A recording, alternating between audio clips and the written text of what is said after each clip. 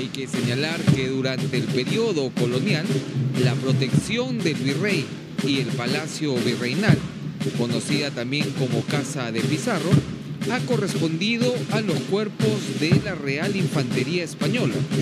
Durante el periodo republicano, la protección del presidente y el palacio presidencial estaba a cargo de los batallones de infantería montada y la Guardia Civil del Perú, Policía Nacional. Hoy en día el cambio de guardia es muy popular, sobre todo en los turistas nacionales y extranjeros.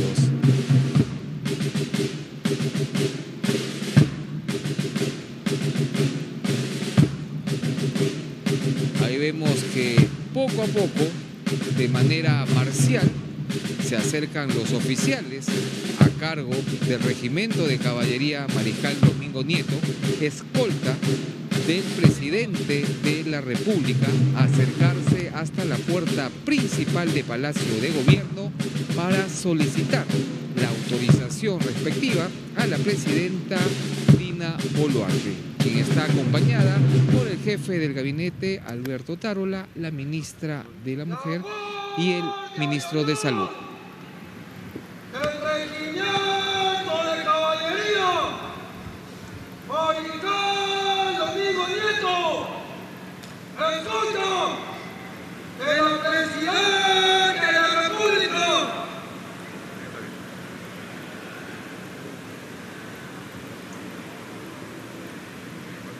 Escolta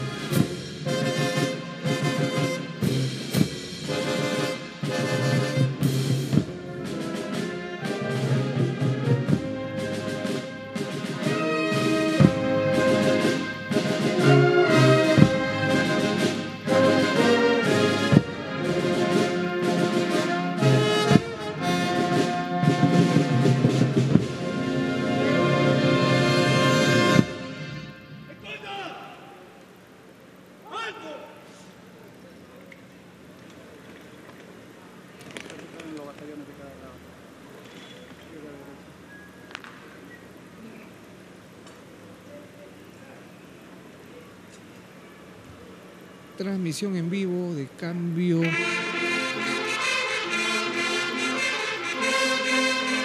De guardia desde Palacio de Gobierno.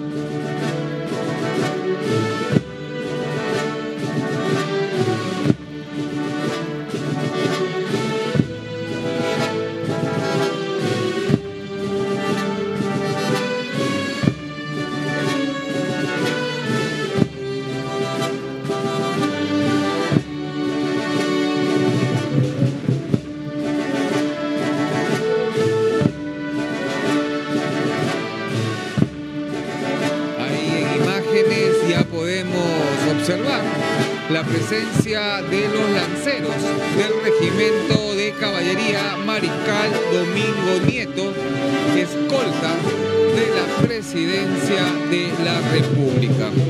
Hay que señalar que la escenificación militar empieza a las 11 y 45 aproximadamente con un anuncio musical de una trompeta al ritmo de la música en vivo. Además se realizan las coreografías militares por aproximadamente un tiempo entre 15 a 20 minutos. En este caso, la farandola, banda militar, toca una serie de interpretaciones, tanto europeas como peruanas, dependiendo de quién esté a cargo de la farandola. Normalmente cambian ambos tipos de música. Las piezas musicales europeas llaman la atención al igual que las piezas peruanas donde podemos resaltar el guayno y sobre todo la marinera.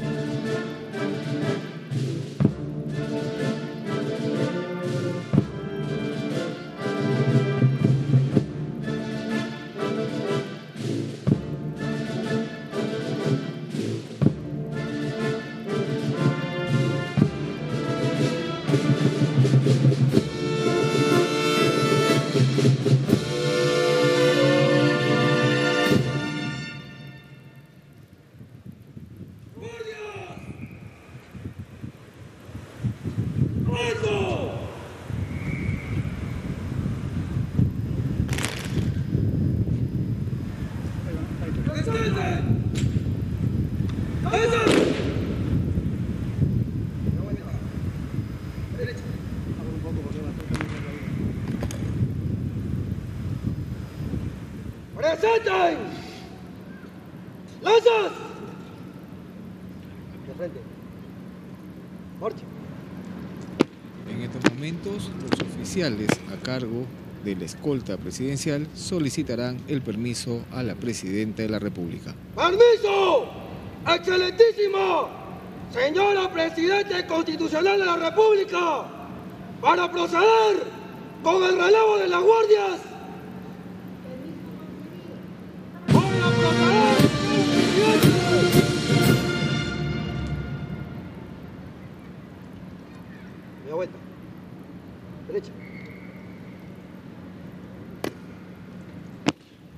Autorización de la Presidenta de la República se procede al relevo de las guardias acá en el cambio de guardia de Palacio de Gobierno. Hay que señalar que el regimiento de caballería Dragones Mariscal Domingo Nieto, escolta del presidente de la República de nuestro país, pertenece al ejército peruano y depende de la Casa Militar de Palacio de Gobierno.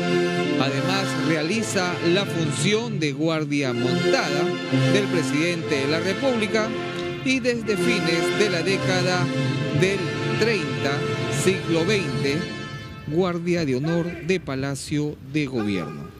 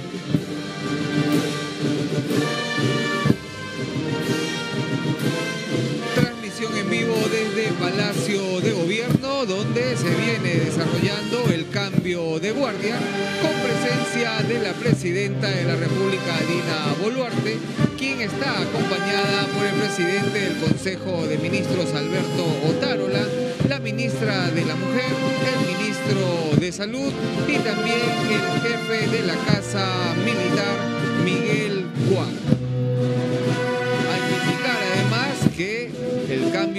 Es uno de los principales atractivos turísticos del centro de Lima. Es por ello que a esta hora de la tarde son muchas las personas que se encuentran al interior de Palacio de Gobierno observando este tradicional evento. Además, en las afueras, en la Plaza Mayor de Lima, hay una gran cantidad de personas también que participan de este cambio de guardia, muchos de ellos turistas nacionales y extranjeros.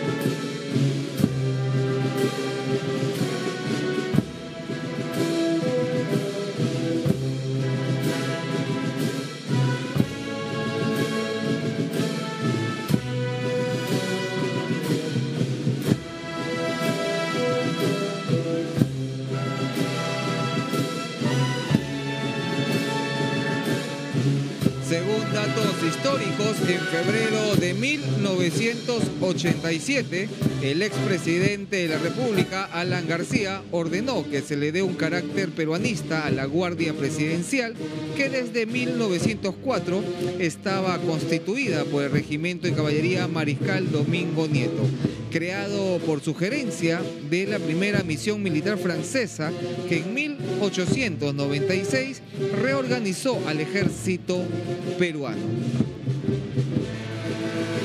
Es por ello que durante la época que el expresidente Alan García estuvo en el gobierno, los encargados de brindar eh, protección a la Casa de Gobierno como al presidente de la República fueron los miembros del regimiento de húsares de Junín. Posteriormente, el presidente Ollanta Humala retornó los miembros del regimiento de caballería Mariscal Domingo Nieto Dragones a su puesto como es los encargados de brindar seguridad a la presidencia de la República.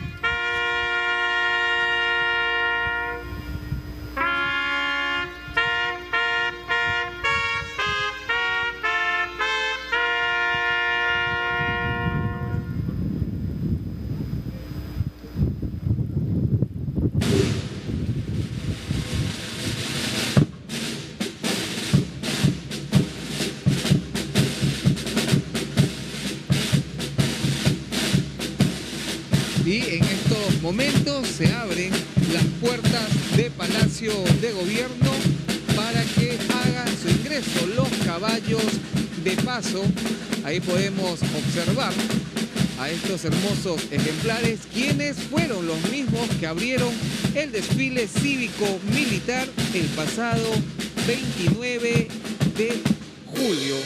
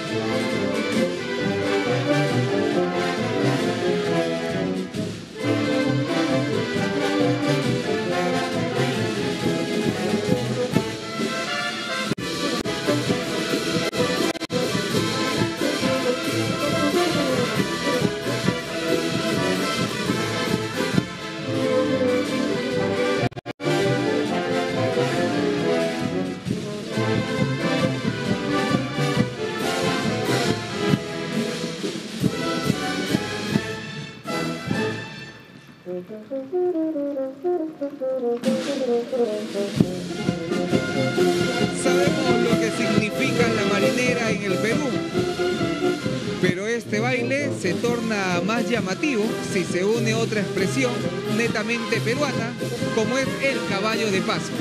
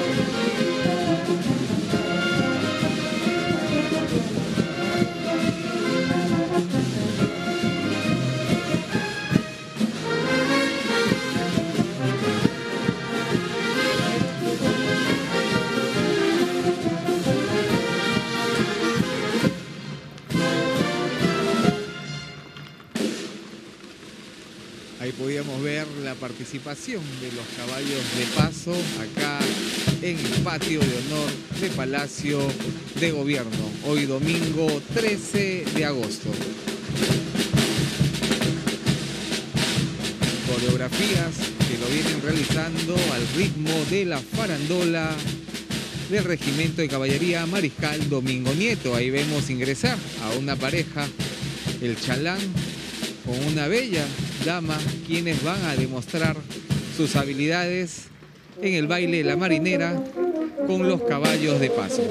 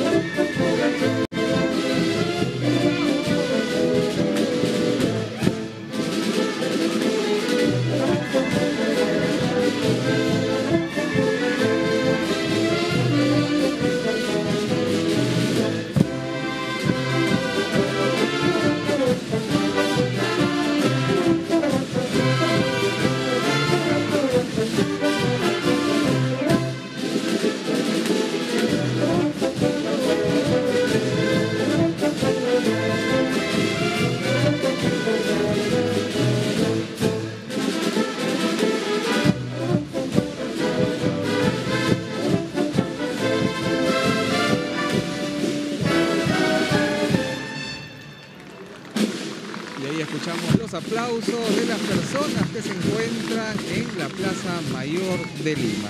Ahí veíamos también este hermoso espectáculo que conjuga el baile de una danza tradicional como es la marinera y el caballo de paso peruano, un animal único entre los equinos que se caracteriza por la elegancia que presenta en su andar, simulando en su caminar una danza. Ahí vemos a los miembros que forman parte de esta asociación y quienes, como dijimos, fueron los que abrieron el desfile de 29 de julio durante la gran parada militar y que fueron uno de los principales atractivos de este día tan especial cuando celebrábamos nuestra independencia. Se retiran los chalanes en los caballos de paso. Mientras tanto, continúa el cambio de guardia acá en Palacio de Gobierno. Las personas que se han dado cita en la Plaza de Armas de Lima despiden con aplausos a los miembros de esta asociación, quienes ya se van retirando con los caballos de paso.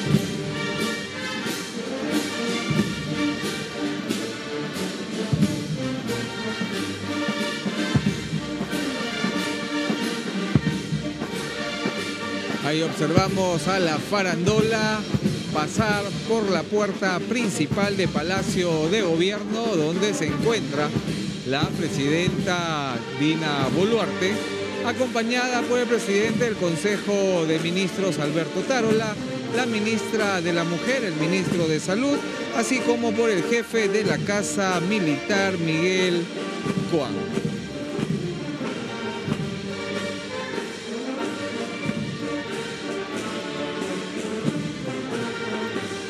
Con estas imágenes nosotros nos despedimos y retornamos hasta Estudios Centrales para continuar con la programación habitual de TVP. Bien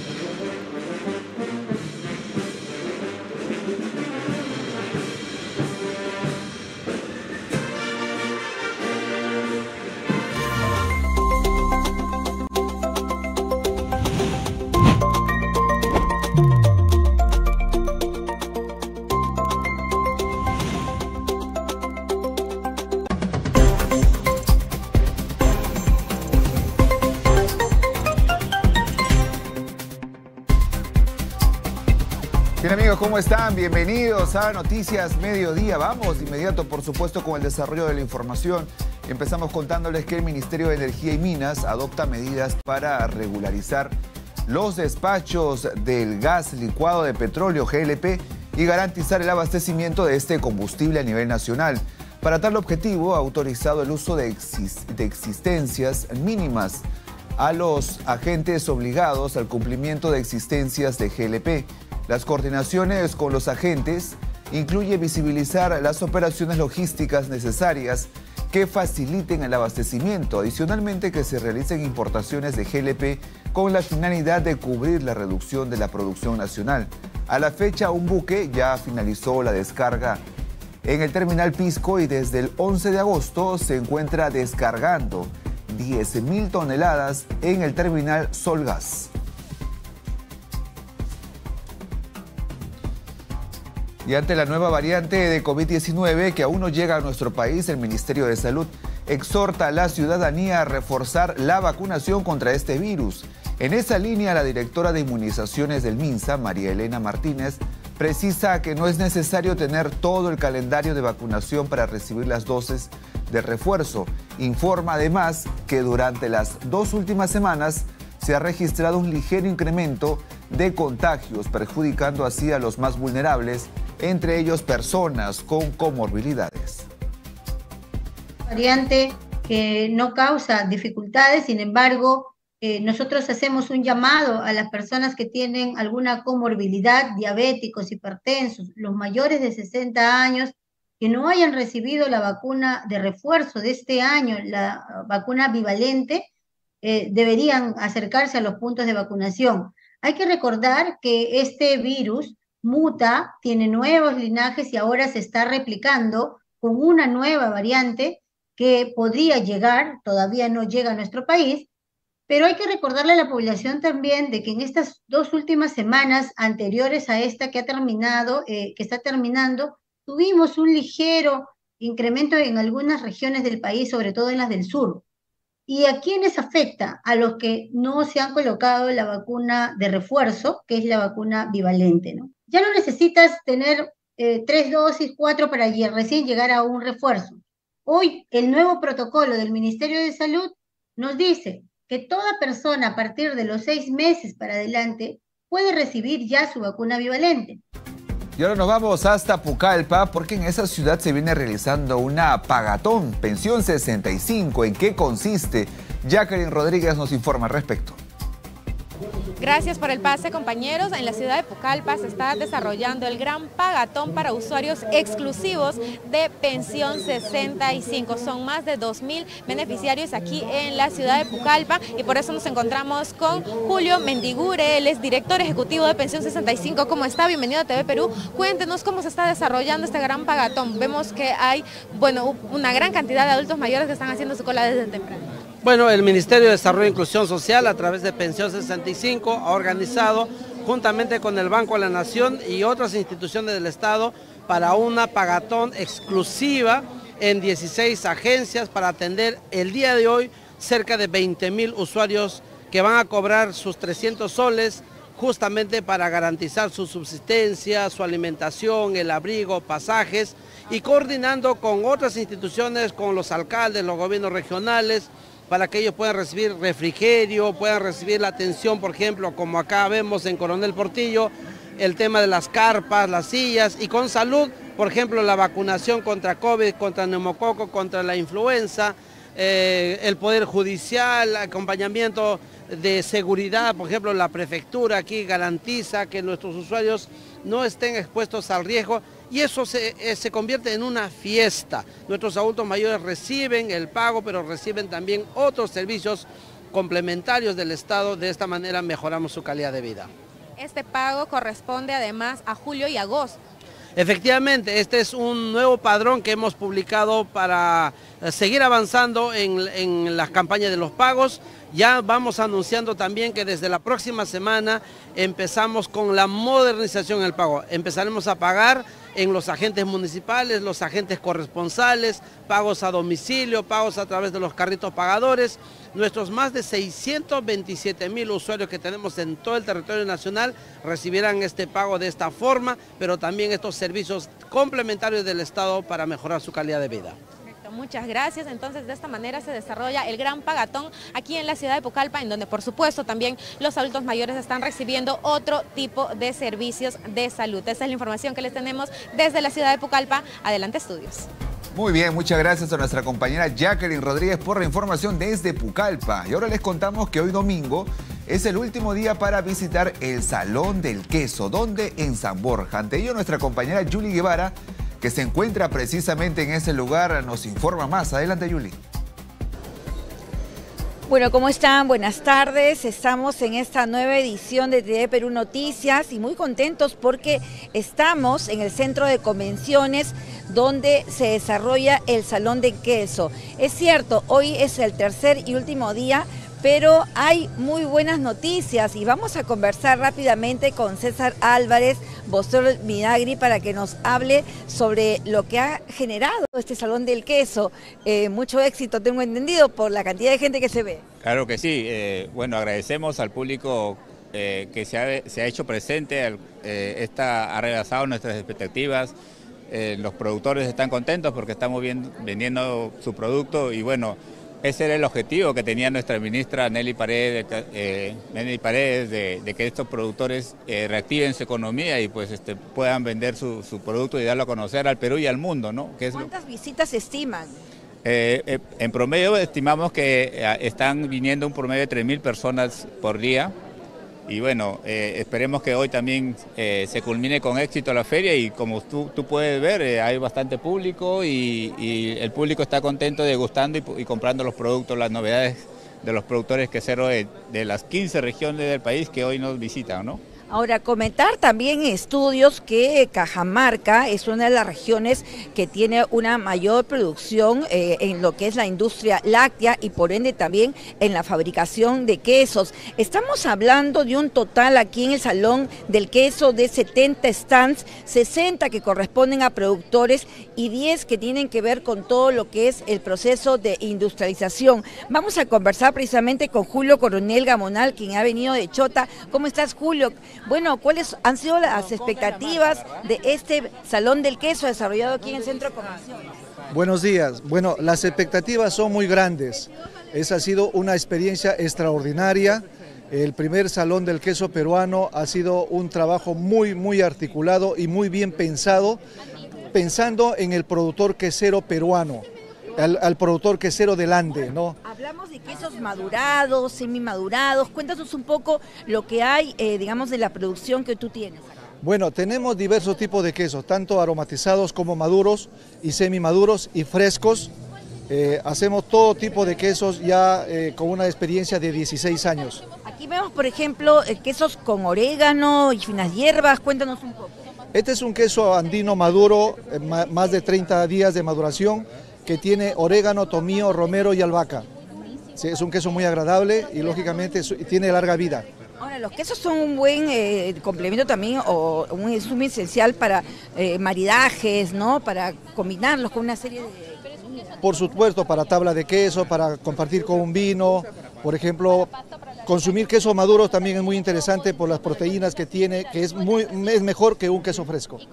Bueno, y vamos a hacer un paseo breve, ¿no? Por este Salón del Queso, porque como te contaba, son varias regiones que están exponiendo sus productos. Estamos hablando, por ejemplo, de la región Huánuco, eh, también de la región Ancash, ¿no? Tenemos eh, Ocongate también, que es una zona de bastante altura, más de 4.000 metros sobre el nivel del mar, donde el tema también de la crianza del ganado vacuno es muy importante y precisamente eh, sus productores están dedicándose ya hace bastante tiempo a la producción de quesos y aquí vamos a conversar brevemente con alguno de ellos, son quesos o congate del Cusco, eh, vamos a ver eh, con... ellos están justamente con sus vestimentas típicas, están aquí desarrollando pues todo un sistema de producción también y han venido a Lima. ¿Cómo estás? ¿Tu nombre, por favor? Muchísimas gracias, un saludo fraterno para ustedes. Eh, mi nombre es Ángel Mermamayo, yo vengo de la región de Cusco, de la provincia de Quispicanche, del distrito de Ocongate, mi comunidad se llama Ausangate, mi anexo es Pachanta, donde, donde es una zona turística donde existe Ausangates, varios tipos de colores, lagunas, eh, aguas calientes. Y los quesos, ¿no? Eh, interesante también la producción de quesos que ustedes tienen. Han traído una variedad de quesos. sí, hemos traído eh, paria, hemos traído eh, tipo andino, hemos traído pa, eh, parmesano, hemos traído goda, hemos traído queso aromatizado, hemos traído queso mozzarella, eh, hemos traído mantequilla. más, más, más, más variedades tenemos, pero no hemos podido traerlo porque el viaje era un poco lejos, entonces no hemos podido traer más. Entonces seguramente para la próxima vamos a estar trayendo más variedad. contacto con la gente, con el público? Eh, sí, el eh, ONG, lo que es el, este, ¿cómo se llama? El contra el hambre, eh, acción contra el hambre, es el que nos ha hecho publicación por acá. Entonces, por ahí es la gente que se ha enterado que con Gati que hemos venido. Bueno, muchísimas gracias. Entonces, como ustedes ven, ellos eh, se han lucido ¿no? con lo mejor de su producción, decíamos, eh, zonas altoandinas que hoy día están presentes en el Salón de Queso y seguramente han hecho nuevos contactos también para lograr esa asociatividad que se requiere con la finalidad de que no solo su producto sea conocido en el mercado nacional, sino también en el mercado internacional, porque hay muchos que ya incluso se están preparando para eventos internacionales y otros que van a continuar porque ya son ganadores de concursos también muy importantes. Así que con esta nota vamos a ver a Estudios Centrales. Muy bien, muchas gracias a nuestra compañera Julie Guevara desde el Salón del Queso, ¿no es cierto? Gran variedad que tiene nuestro país. Ahora le vamos a contar que el Perú continúa obteniendo logros en los campeonatos de ajedrez en Kazajistán. En esta ocasión, dos jóvenes del Colegio Sacoliveros dejaron en alto el nombre de nuestro país. En el Torneo Mundial de Ajedrez que se realizó del 3 al 8 de agosto en Kazajistán, Fiorella Contreras, de 16 años, obtuvo la medalla de oro en la categoría sub-18. Su excepcional talento estratégico le permitió derrotar a ajedrecistas de diversos países como China, Mongolia, Armenia, entre otros, mientras que Irina Rojas, de 11 años, consiguió la medalla de plata tras una reñida serie por el primer puesto con su similar de Tayikistán. Ambas deportistas recibieron asistencia de la Cancillería, además del apoyo de la Federación Peruana de Ajedrez. Y según el aviso meteorológico número 167 del CENAMI, la selva norte del Perú soportará la ocurrencia de fuertes vientos que alcanzarán valores de hasta 50 kilómetros por hora a partir del día de hoy y hasta mañana lunes. Esta alerta de nivel naranja se presentará en las provincias de Mainas, Alto Amazonas, Mariscal Ramón Castilla, Requena, Ucayali, Datem del Marañón y Putumayo. Ante esta situación, las autoridades regionales exhortan a la población a tomar sus medidas preventivas del caso, como asegurar sus techos y reforzar los vidrios de sus ventanas. Muy bien, y según el último balance ahora de la Sutran de Ancash, más de 260 colectiveros informales fueron sancionados entre enero y agosto del presente año. Indican que muchas de estas unidades sancionadas no contaban con sus respectivos SOAT. Incluso algunos conductores no contaban con licencia de conducir y fueron precisamente sancionados con multas de hasta 4.950 soles y la retención de sus placas de rodaje. Ante esta situación, la Sutran pide a los usuarios acudir a los terminales de transportes autorizados y abordar, por supuesto, vehículos de empresas de transporte formal que les garantice un viaje seguro.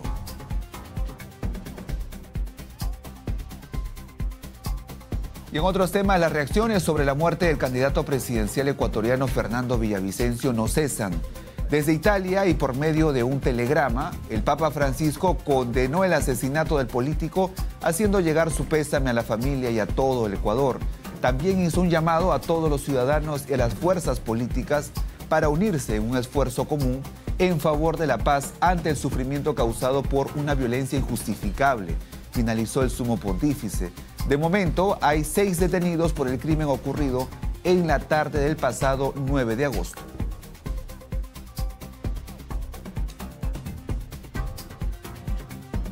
Y a pocas horas del debate presidencial, el movimiento Construye eligió al periodista Cristian Zurita como el reemplazo de Fernando Villavicencio, candidato asesinado por sicarios. El anuncio lo hizo Andrea González, aspirante a la vicepresidencia y quien hace un día había sido anunciada como la sucesora del político fallecido.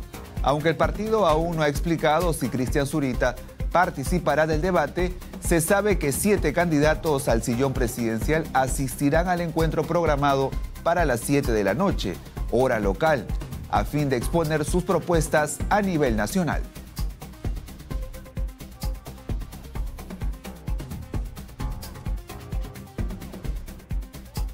Y en medio de una grave crisis económica, 35 millones de argentinos han acudido a las urnas como parte de las elecciones primarias abiertas y obligatorias, donde se definirá los candidatos presidenciales que competirán en los comicios generales del próximo 22 de octubre. De acuerdo a las últimas encuestas, Los candidatos que se disputan el primer lugar son el abogado y actual ministro de Economía Sergio Massa, el economista Javier Milei y la ex ministra de Seguridad de la Nación Patricia Bullrich. También se precisó que los colegios electorales cerrarán a las 6 de la tarde, hora local, y los primeros resultados se darán a conocer después de las 10 de la noche.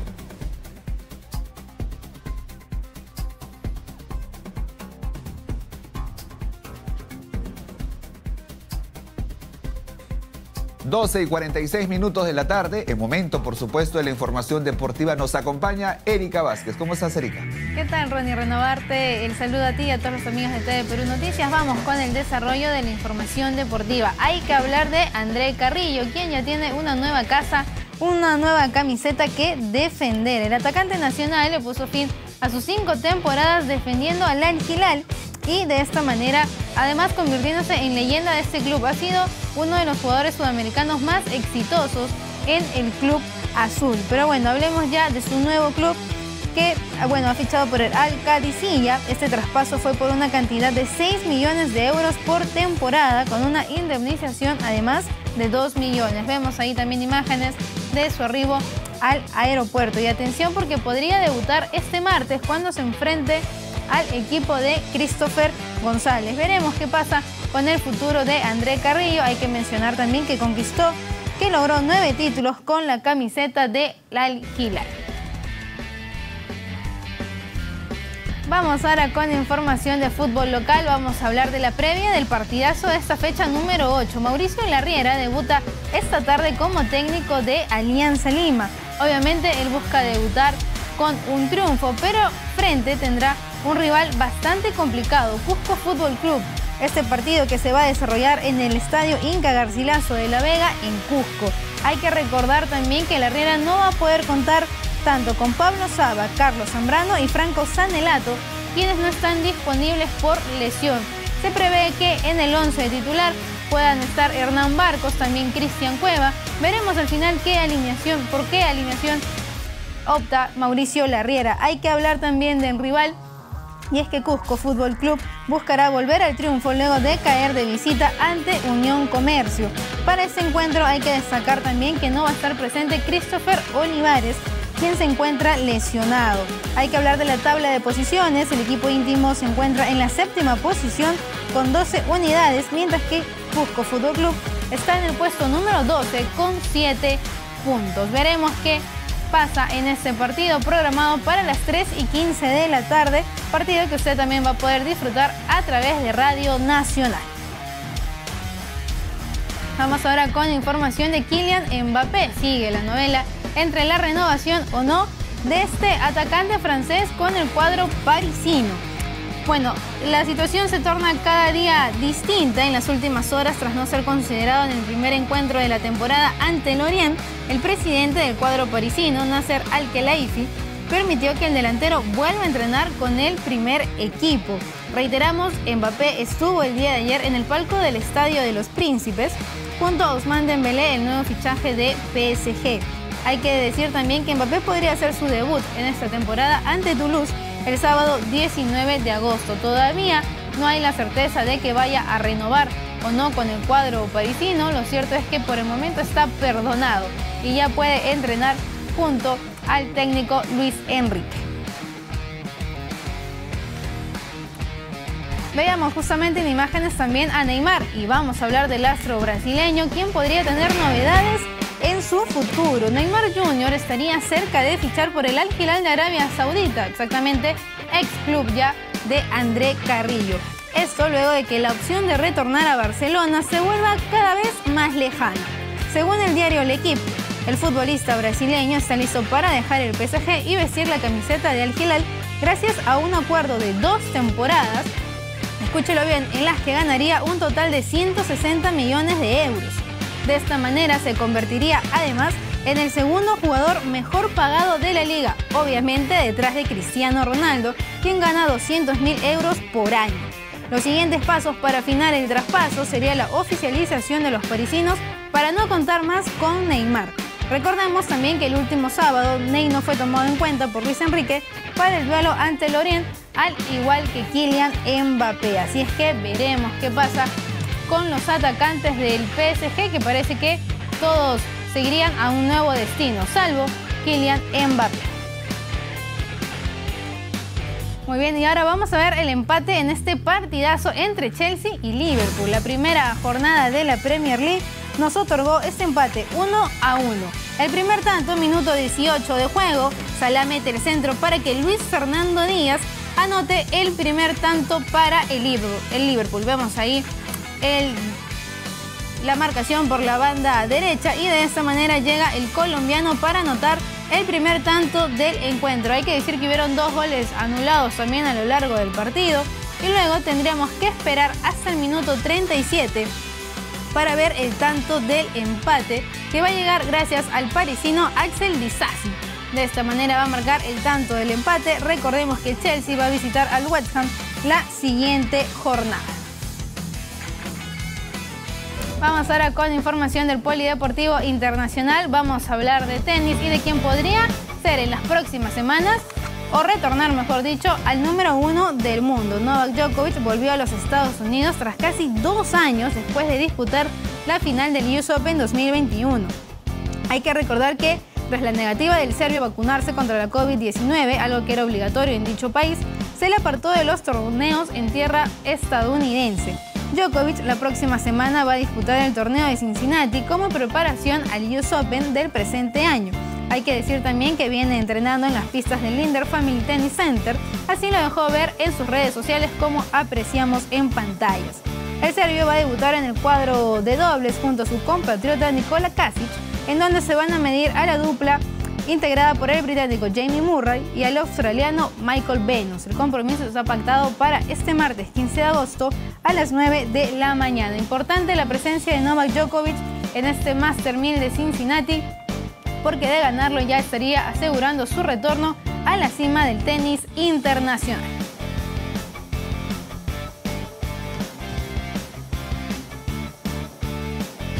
Con esta información, Ronnie, despedimos el bloque deportivo. Excelente domingo para ti y para todos.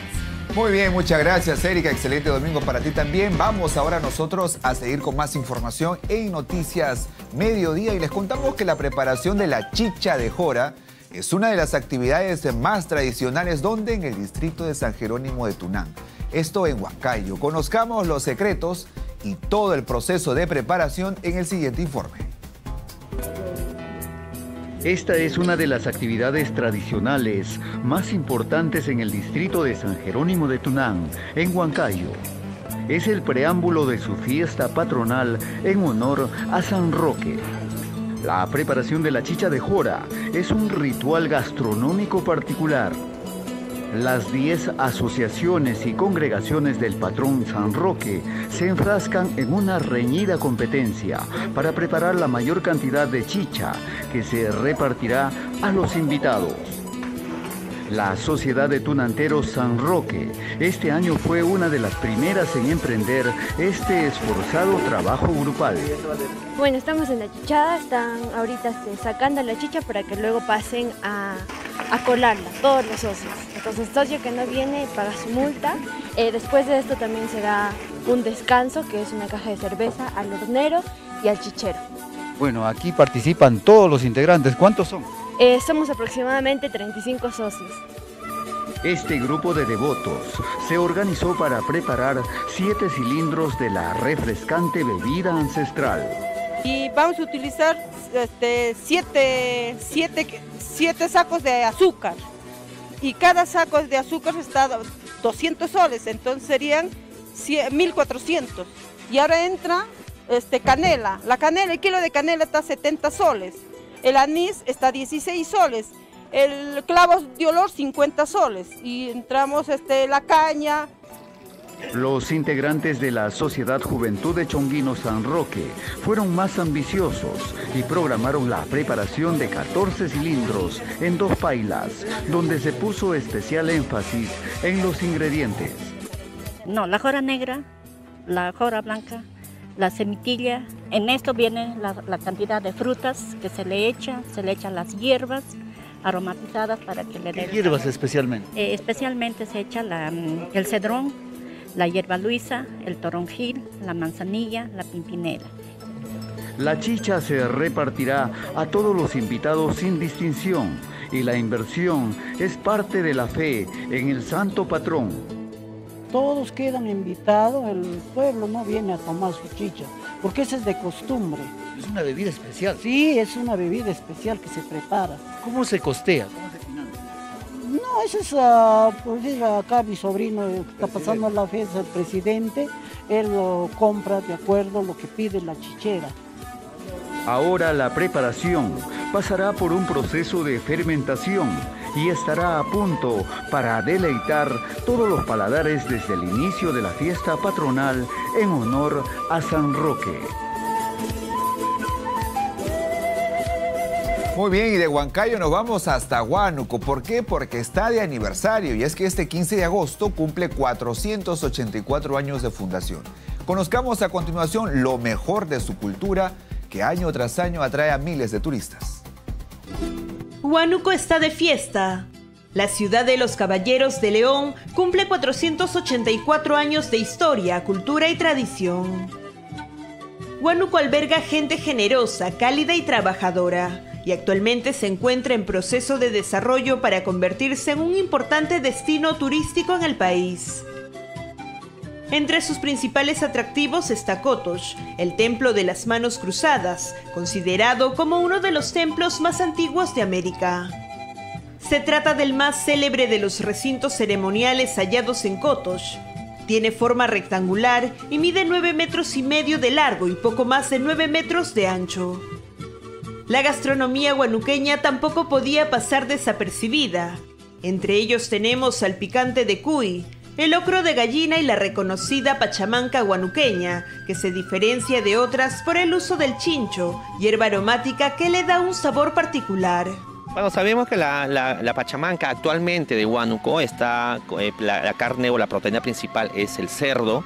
Luego de eso tenemos dos eh, tubérculos que es el camote y la papa y una raíz que es eh, la yuca. Eso hace de que enriquezca mucho culturalmente porque tenemos eh, insumos de la costa, de la sierra y de la parte Amazonía en un solo plato que es nuestra Pachamanca.